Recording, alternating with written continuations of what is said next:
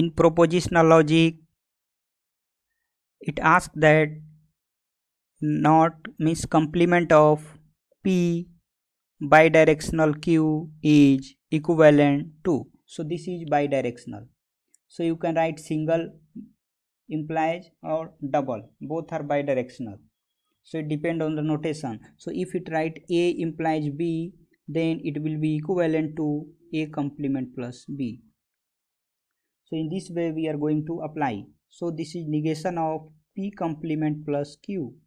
So how it comes? You see the previous lecture series. In this video lecture series. So this will becomes p complement plus q. So af after applying the negation it will becomes p complement plus q whole complement. So it will gives p dot q complement. So it will gives p intersection q negation. So according to this option p intersection complement of q d option will be correct. So a b and c is wrong. So please subscribe the channel and see the next video in this lecture series